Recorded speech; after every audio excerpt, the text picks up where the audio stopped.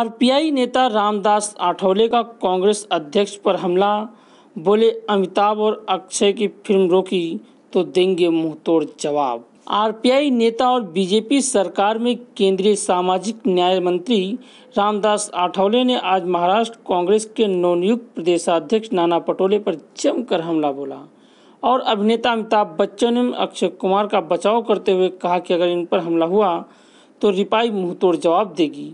दरअसल कांग्रेस प्रांताध्यक्ष नाना पटोले ने petrol diesel की बढ़ती कीमतों को लेकर अमिताभ और अक्षय कुमार द्वारा कोई टिप्पणी नहीं करने पर सवाल उठाते हुए उनकी फ़िल्मों की शूटिंग रोकने का ऐलान किया था। महाराष्ट्र में अमिताभ बच्चन का शूटिंग अभी अक्षय कुमार की शूटिंग या उनके पिक्चर भी रिलीज़ नहीं होने देंगे। इस पर रिपाई अध्यक्ष रामदास अठौले ने कहा कि महाराष्ट्र में गुंडा राज नहीं चलेगा। इसलिए कांग्रेस को सोच समझकर बोलना चाहिए।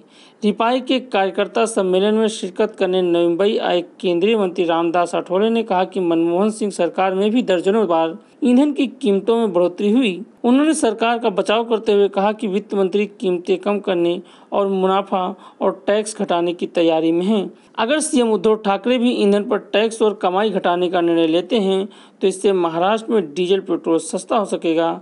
आइए सुनाते हैं उन्होंने और क्या कुछ कहा। तर आमचे नाना पटोले हे काँग्रेस पक्षाचे नवीन अध्यक्ष झालेले आहेत. त्याबद्दल आमच्या त्यांना शुभेच्छा आहेत. त्यांनी विधानसभेचं अध्यक्षपद सोडून काँग्रेस पक्षाचं अध्यक्षपद त्यांनी घेतलेलं आहे.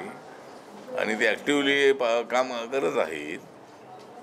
परंतु अमिताभ बच्चन आणि अक्षय कुमार यांच्या ज्या फिल्म्स आहेत त्या आम्ही चालू दे देणार नाही.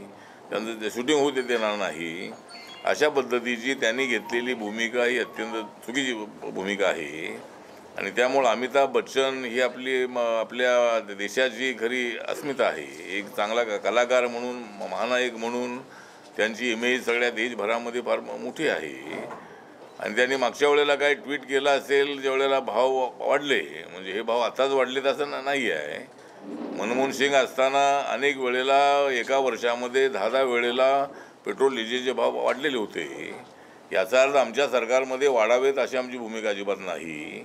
परंतु निर्मला सीतारामन यांनी सांगितलेलं आहे की काही केंद्राने टॅक्स कमी करणे आणि काही राज्याने टॅक्स कमी करणे असा प्रयत्न झाला तर ॲटोमॅटिकली पेट्रोल डिझेलचे भाव कमी होतील.